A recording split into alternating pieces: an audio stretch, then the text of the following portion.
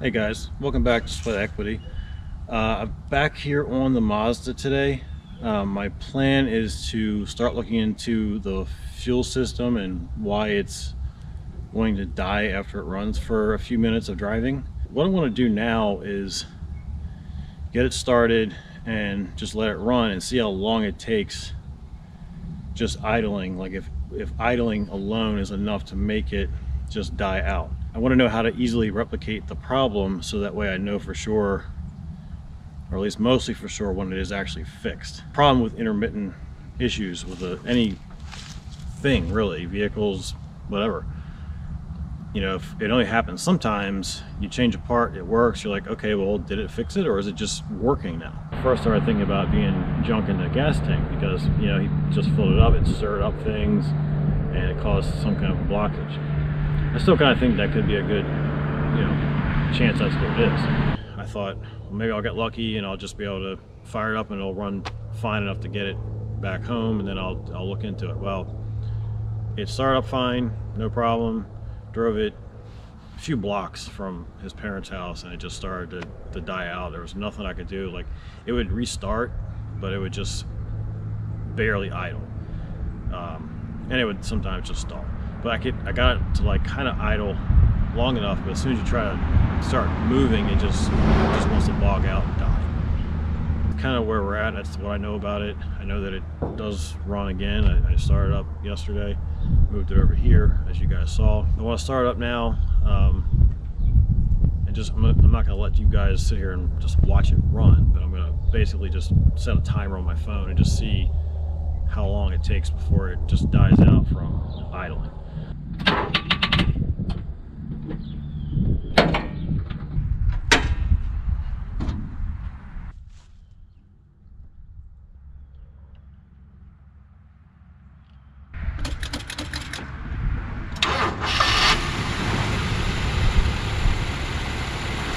Alright, so it started without braking. That's good. I, I pumped the pedal probably a total of like 10 times.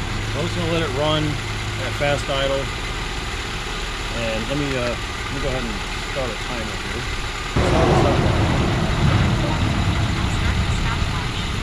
Turn you guys off for now. We'll come back if anything happens. Alright, so we're at about six minutes right now and it's still running just fine.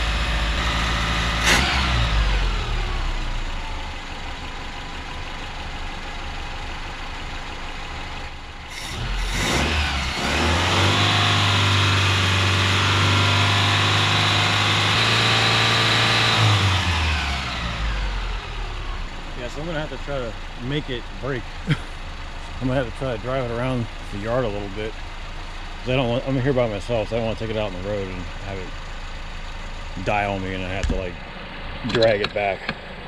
I won't be able to do that by myself. So I gotta get it to break.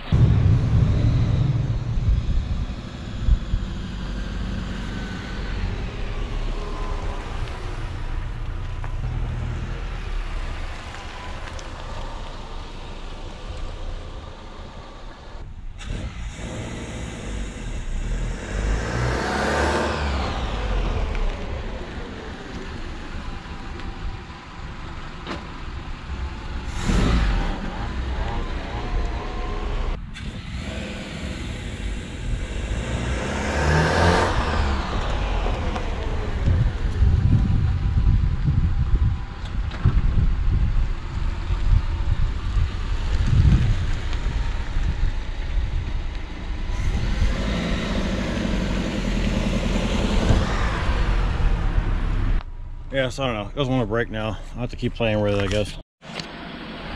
So it still hasn't started to die or anything like that. So I thought, okay, well, while it's running good, I'll look into the AC.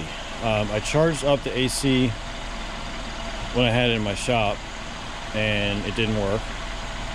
Um, but I did manually power probe the clutch and it started to run and I could, I could tell that you know the engine slowed down so I was like okay it's doing something.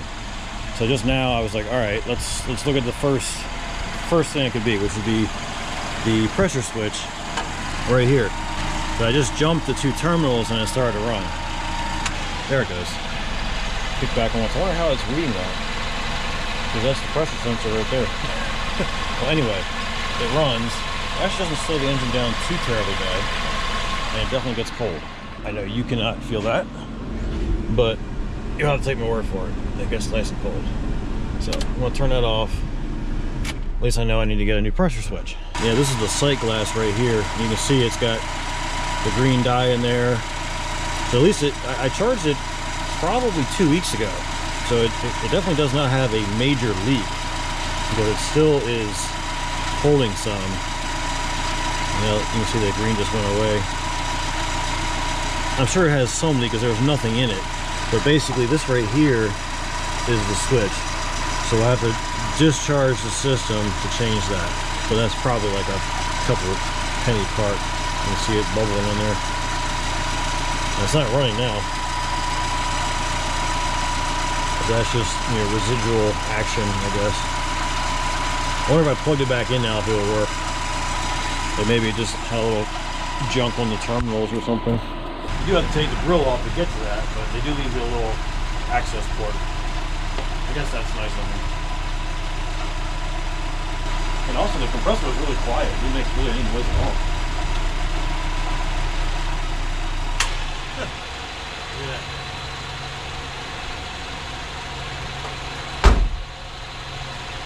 So it does work. It isn't actually bad. It just probably was a bad contact from all those years of sitting. Just pull them off and back on again. Yes, now it kicks on off a little bit quicker.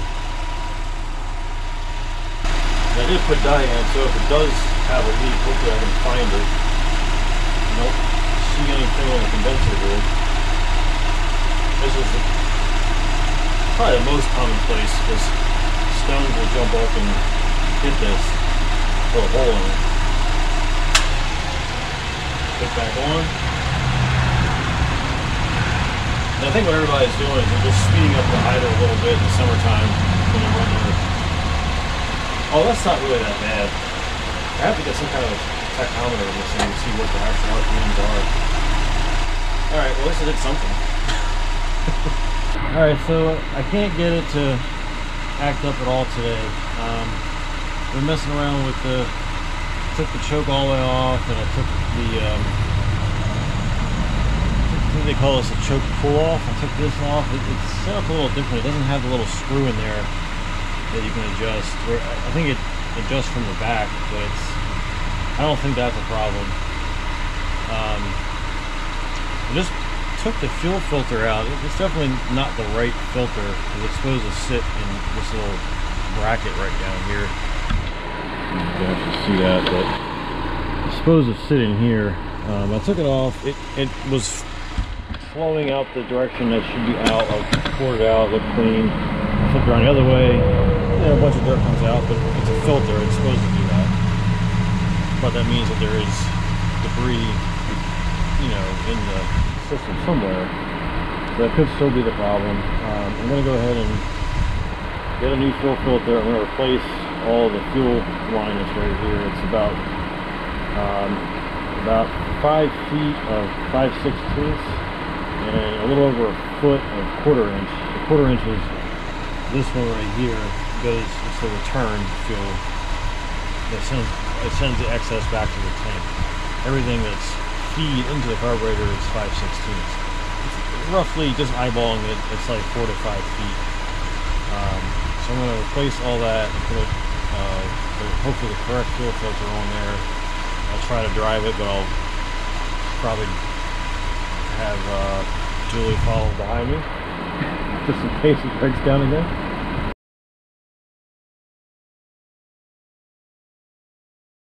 I'm back out here on the Mazda and I'm, I actually am waiting for a new carburetor to come. I actually ordered the, the correct um, Weber. I sent back the Amazon one um, and also the truck is officially mine. I did pay for it yesterday uh, from my buddy. The uh, E90 is no longer here. Sold that for $2,900 and it'll pretty much just evenly wash out buying this, putting plates on it, um, and paying for the, the Weber carburetor. I thought I might as well go ahead and check out the tank. Uh, it looks to me like all it is is just these four bolts. I'm uh, just try to hit these with little bit of lube a while. And come back up here. If I can roll.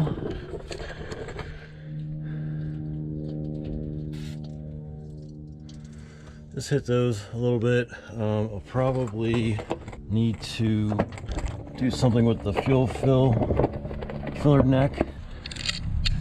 Yeah it's everything you can see how easy it is to see everything. There would be the sending unit right there. Might just be easier just to undo that. Or even down here. Maybe I'll just undo this one here and this one right down here provided they actually uh, turn but nothing is really that rusted on here. Not like you might expect. I'm trying to look and see if these are okay it looks like there's a, a bolt going down through the top. You can see that. And another on the bottom so I may have to hold the top. I'm either to get my jack under there or some blocks of wood or something to support it once I get that uh, you know get to actually taking those off. Um, so I'm gonna work on getting these undone right now. All right I got two jacks set up and I got one of the nuts off. The front ones are 14 the rears are 12 I'm not sure if that's just my truck or if that's the way they actually are. I actually already lost that nut that came off. Oh they're just they're just both inside of the socket. That time I dropped the washer. So this side should be free yeah Be oh, there's the washer now that was a drive shaft What's the easiest way into this? I guess from the back.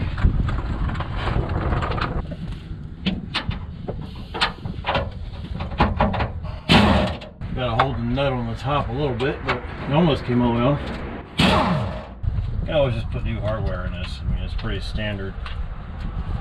Looks like an M8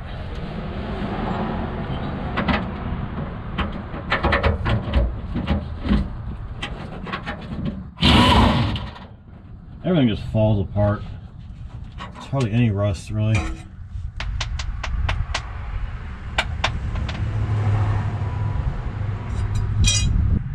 Alright, let's just see if we can slowly lower this down.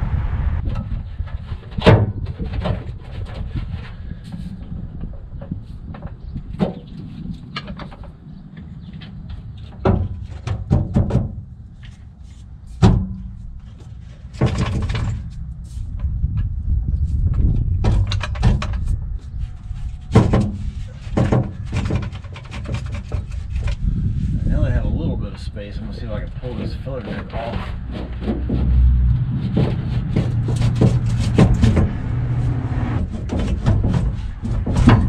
Alright, that's off. Okay. One filler neck off. And that's really not even in bad shape at all. Still nice and pliable.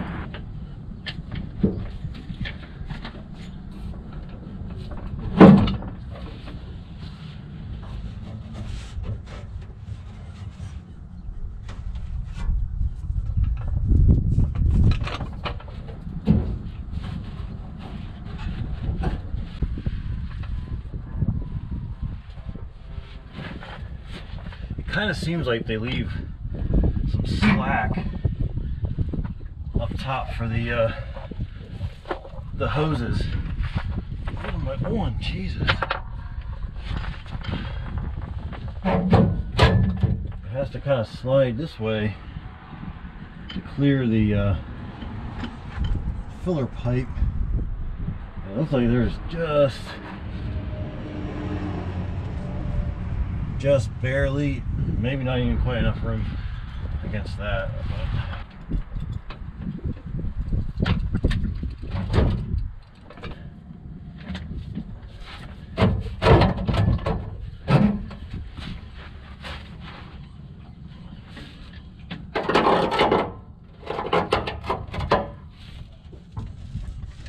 I'm not like real sure how much gas in here. but I can lift it, so it's not that full. I mean, the gauge is showing like less than half, but I'm not really sure how accurate it is. Filler neck.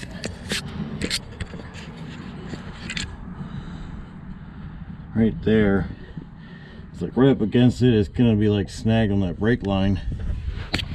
And then on this side, it's right up against the drive shaft. So I'm not sure how to finagle that out of there. I guess I'll play with it a little bit and show you what I figure out. All right, guys. Uh, a couple days later, that's right. You guys did see me working on the tank. The battery died. I did get it out.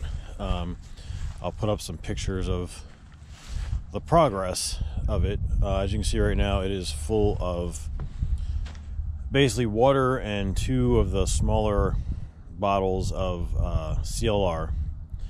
And I'm just this is day two basically. This, this is like 48 hours of it soaking. It definitely seems like it's helping a little bit. Um, I'm gonna just end up flushing it a couple times just to get it as clean as possible. I may drop a bunch of bolts and nuts and washers and stuff, just scrap stuff in there and shake it around, uh, probably with much less liquid in there so I can more easily move it. And uh, hopefully I can get that taken care of. If not, a brand new tank is about 150 bucks shipped.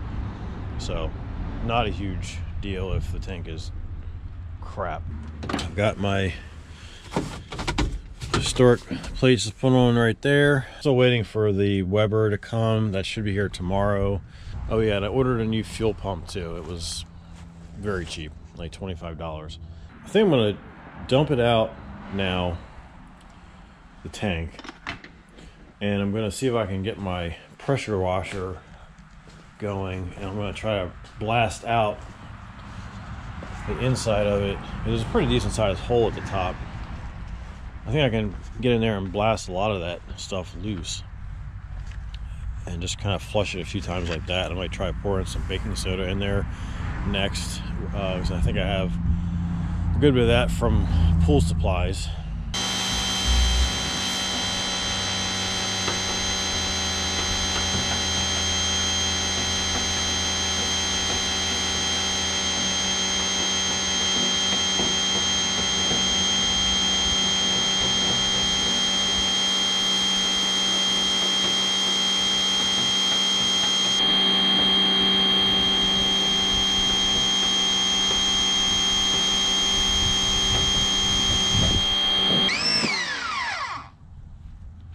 Seems like it's working pretty good. I'm gonna see if I can get you in there.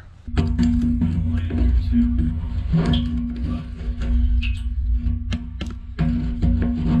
I can hit. And the bottom is getting pretty clean. Of course, it's got liquid floating around there right now. But we're getting most of it out, which I think will be good enough. All right, guys. Um, back on the truck, the Mazda here today. I've got the new genuine Weber carb. Um, polished up the wheel center caps with just some SOS pads. I think they came out pretty good for minimal effort. The rims are painted, tires are mounted back on. They're pretty good. I could probably polish them a little bit, but this is just kind of a, a temporary fix. So we're gonna get them back on after I get it running the lowering blocks are here. I hit all the black the frame I sprayed up under there so everything at least looks kind of nice. I gave it a quick little rebuild if you will. Uh, I'm gonna paint these. Um, I just kind of tested this right here. I got the uh, like bumper and trim paint and I'm kind of bouncing around a little bit but uh, so I ordered this is the sock for this right here. This is like a press fit. Fits on there pretty pretty nice. It's pretty tight. I don't think it's going to go anywhere. So even if there is some junk in the tank, it won't get sucked up. All modern vehicles have this. Not really sure why they didn't do it back then. Maybe they just didn't think of it. I, I really don't know. Um, but we're going to put that back in the tank. The tank is pretty clean as it is. um, I have a new fuel pump right here. We're gonna put that on just as a good measure. It is a Carter. I don't know if there is, there you go, there's a number right there. M70196. This was the sock right here, if you care for that, FS180. This was from Rock Auto, even though it says CarQuest. Originally I just grabbed enough fuel line to do under the hood, but I grabbed some more because I want to replace what's under the truck too, back by the tank. Um, it looks like it's going to be, I think it's quarter, yeah, it's quarter inch for everything that's return. And then it's the size up, which I guess would be five, I think it's five sixteenths is all of the supply. So I'm going to go ahead and replace everything under here while I do the fuel pump. I just took this, I had this covered up. Um, I'm going to do the, the hoses first. I'm going to take the hoses off, pull the fuel pump out. Looks like it's just two 12 millimeter, yeah, two 12 millimeter bolts back there for that. We've got the correct fuel uh, filter also, not that one. So it should sit in this little stand right here. Um, so I think I'm just gonna put you guys on time lapse while I do all this stuff.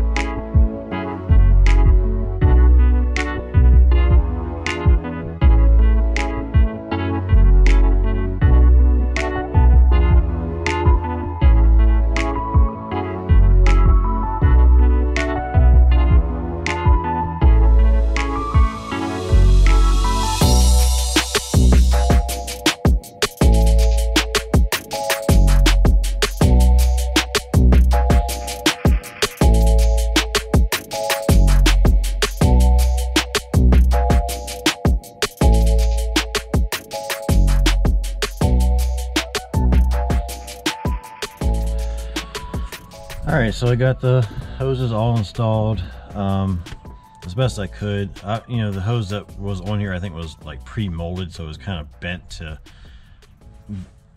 you know fit a certain way. So i just did the best i could. I, I put the insulation or corrugated whatever back on as much as i could.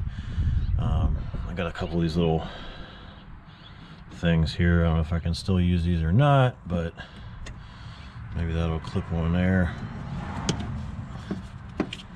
And like just can do something like this maybe. Yeah. And I got a smaller one there. I can probably put on those two.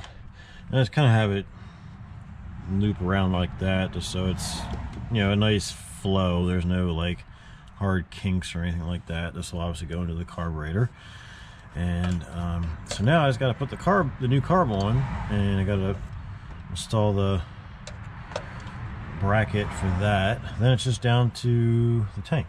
So I got to put this guy onto here.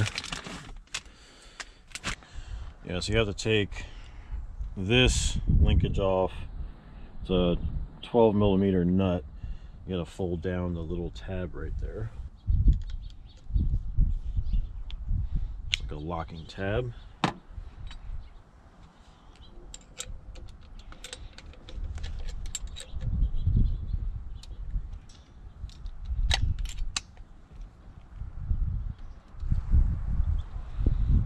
Try to lose that.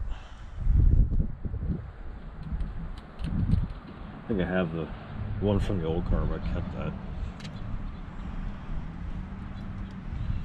this is the, the style that works easiest with the the Mazda setup. The little barrel of the throttle cable goes in there, kind of rolls over that. This is how like Toyotas are too, so this might be a, a Japanese thing. But yeah, it just sits on there like that. Pretty much that's the only modification you have to do to the carb itself, if I remember. I did actually have it working uh, with the original non-Weber carb without this, but then I was like, you know, it's it should have it. So we got the bracket.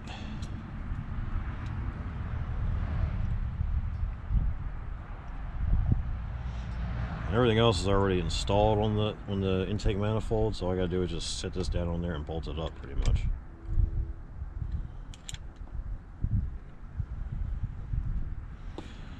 Just fold this back over.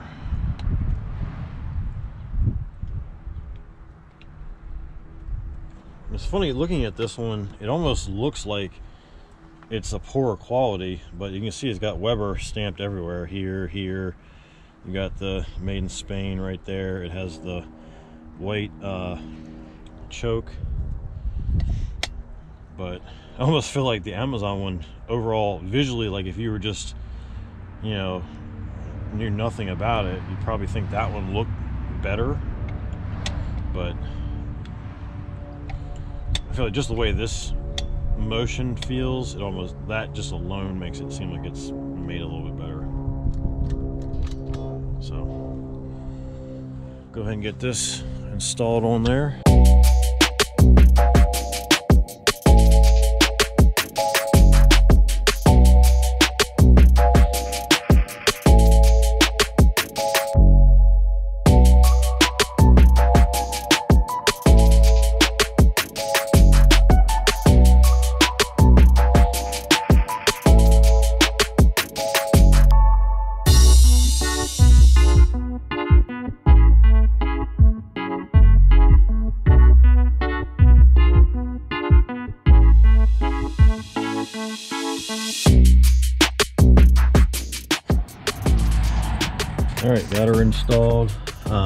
Actually just used my own 12 mil 12 millimeter um, flange nuts right here which will kind of hold that in place. It won't it, shouldn't back off. Um, i may need to adjust the throttle cable here a little bit but it's probably okay. Yeah it's a, there's a little bit extra slack. I'll probably end up running this this way a little bit. We'll get it running first before I worry about that. Um, hooked up the vacuum advance here. This goes over to your distributor. Uh, I need to push that on a little further. And we'll need to hook up the electric choke. Uh, right now, I'm just using, I just found a keyed 12 volt source right here in one of these connectors, which probably is going to end up going away once I clear out all the unneeded wires on this thing. But for now, that's my choke, 12 volts. Uh, tank is still not in. Um, I'm probably going to stop for tonight. I'll come back out tomorrow and screw with the tank and get that back up. Um, but at least I got this all buttoned up right here. Looks, eh, looks okay. I think I'm gonna throw the wheels on because I kind of want to see what that looks like. And uh, that's probably all I'm gonna do for tonight. So I actually used uh, sticky weights on the inside right here just so I didn't have to see these kind of wheel weights on the outside because that would really look bad to me.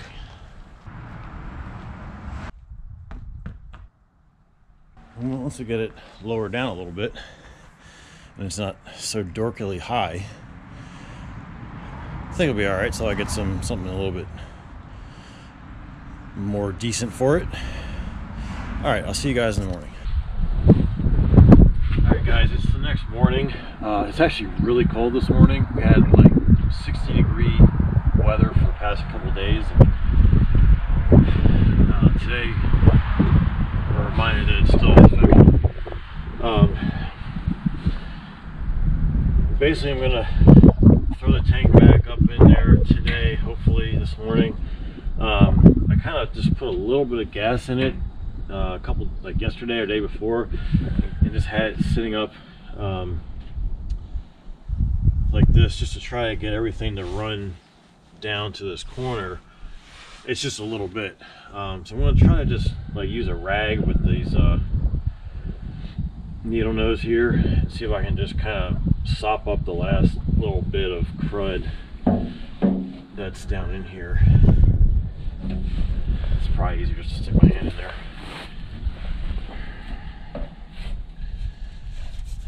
We have the filter screen now so it's not going to pick up any of the debris. And of course we also do have another filter. There's an actual fill filter which is all there to you know help prevent that stuff from happening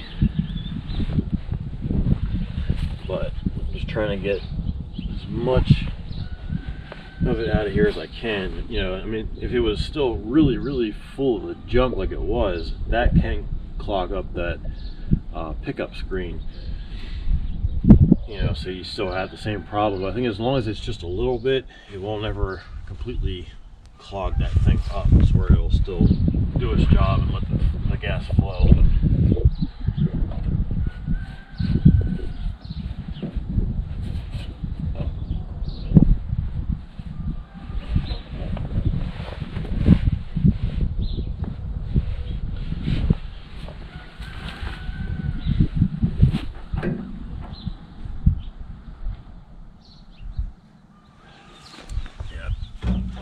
I think that's pretty good like that. The tank weighs basically nothing when it's not when it doesn't have any fuel in it, so it shouldn't be very hard to get to go back up. Um, but I am going to replace the fuel hoses that are down here. Alright guys, I've got the tank installed. Uh, when I was out here earlier, it was just freezing cold and couldn't feel my fingers after about five minutes. So it's like five degrees warmer now, but there's at least sunshine, so I was able to get it done. Um, everything is installed. There's new, the tubes, they're like, you know, about yay long for the tank uh, side of the, um, the hoses. So everything is new. Fuel system wise really. I mean except for the tank not being new it's old. Um, i did also blow out the line that's coming up from the tank right here. I took this off and shot air back through the other way and there was fuel in it because stuff shot out. So at least we know for sure there's no debris in there. Um, there's about two gallons i just dumped well one and a half gallons. The other half is on the floor because I thought I could not use a funnel. Um, but I don't really know how to pour get, uh, gas down to where it actually go into the bowl, to, like to fill the bowl right now. So I guess I'm just gonna. I know I don't have much battery because this battery has been run down a few times. So I guess I'm just gonna shoot a little brake clean in here.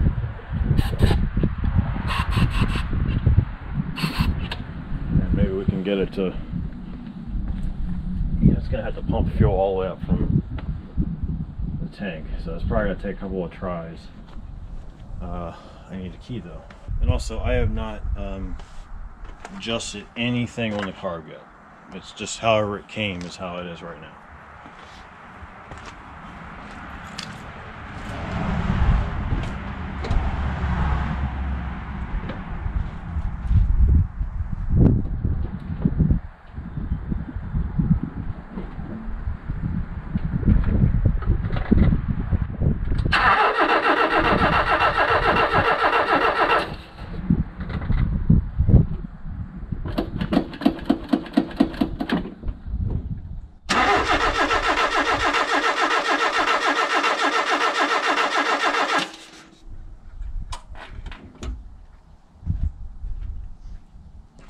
Guess this engine doesn't require much power to spin it over.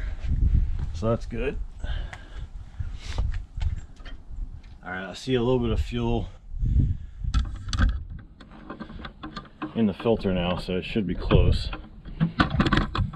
you can see that or not. There's a little bit down in there. There's a little bit of liquid in there.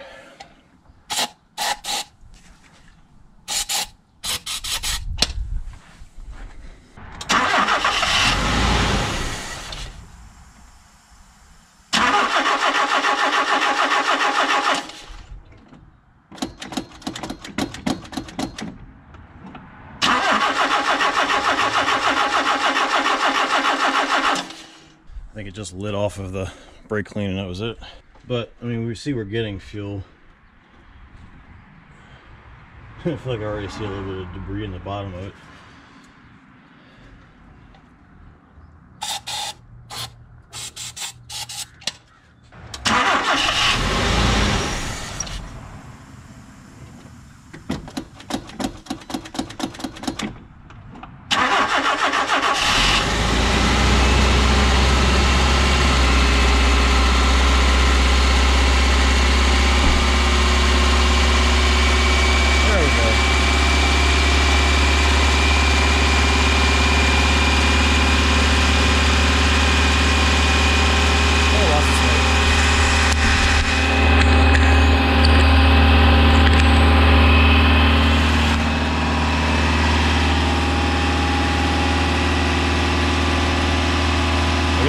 Be, uh, yeah, that looks like smoke. It doesn't look like steam.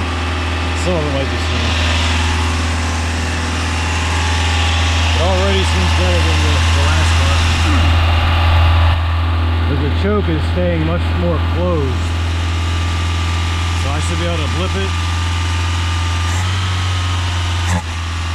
Yeah, it still wants the fast idle. The old carburetor, the minute I did that, it would jump all the way down. So it still wants to be running fast.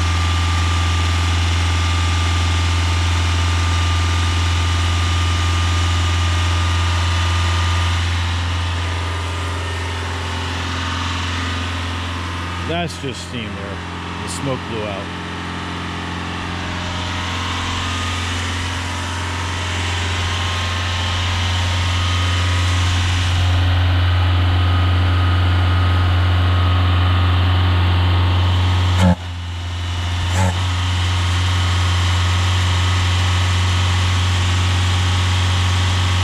Still wants that. I mean, it is pretty, it's still pretty cold.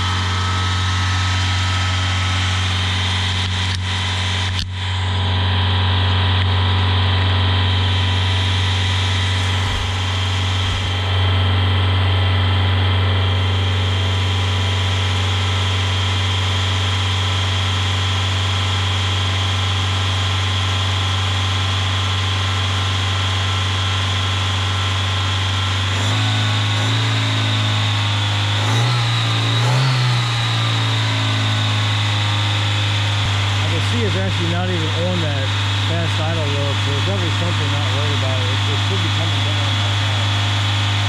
Hoping, open up there, see?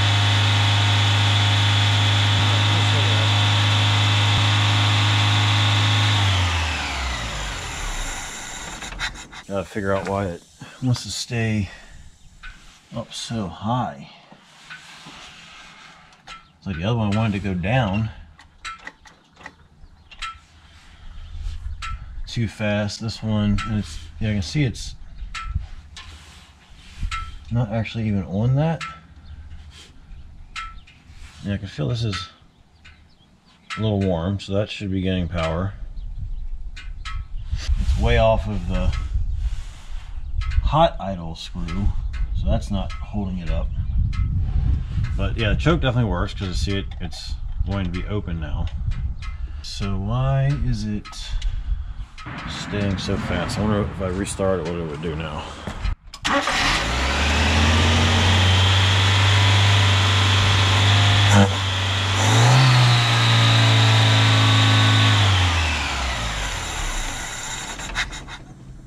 Yes, that I don't know. I'm not sure why that is doing that. I guess I can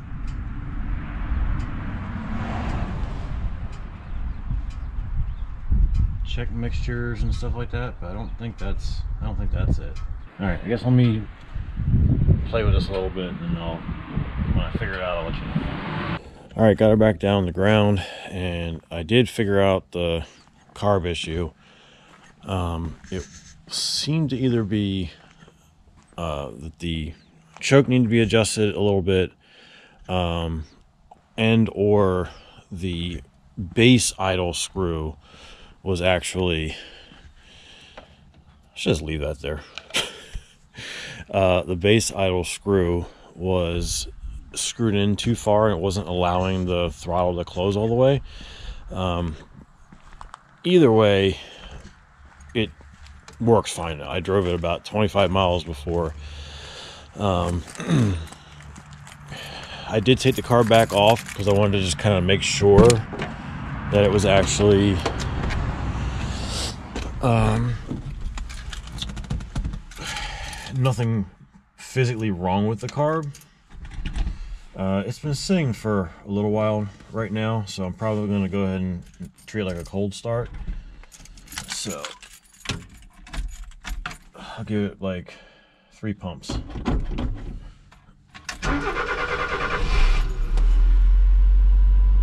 you go. So high idle. I'll let it run there for a couple seconds.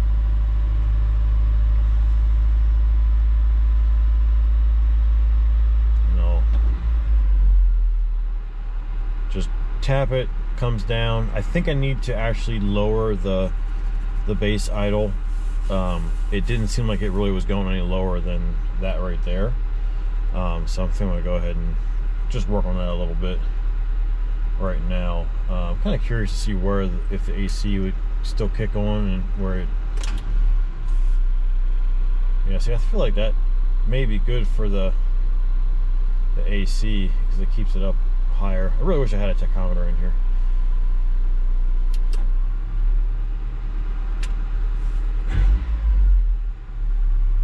Yeah, because right now it's not really going lower than that like second idle, if you will. And also, um, that right there is what about six gallons. Actually, now it's probably like five and a half gallons, uh, maybe five. Yeah, probably it's probably about five gallons now of fuel in the tank, and it's just barely above E. Two two gallons in the tank, it didn't budge the needle. But we were playing with this the other day, well, at least I was. Um, half a tank on the float was about a quarter tank on this gauge. And I mean, that's fine, you know. I know now exactly, you know, I think I'm pretty sure it's a 16 gallon tank. Um, I'll be able to kind of calculate mileage and stuff like that. Um, but I'm gonna go ahead and just kind of play with the base idle screw now and just see if I can get that to come down a little bit more. Uh, I think I got her bowing pretty good without using any kind of a gauge, you know, that being a tachometer and also a vacuum gauge. Um, but it definitely was a little, a little faster than I think it needed to be. The bottom screw right here is the mixture, and then the screw that's up under here, right here is the base idle screw. So I just turned that this screw counterclockwise so it slowed down a little bit and then I was trying to kind of eyeball slash ear meter the idle uh, mixture. I think I got pretty smooth now. But the choke is definitely working much better on this carburetor than the one on the Amazon. Um, um, this one definitely warms up. I did and mark this is where it originally was. So I can turn it a little bit, um, which I think actually is making the choke work a little bit less. Um, but it seems like that's pretty good.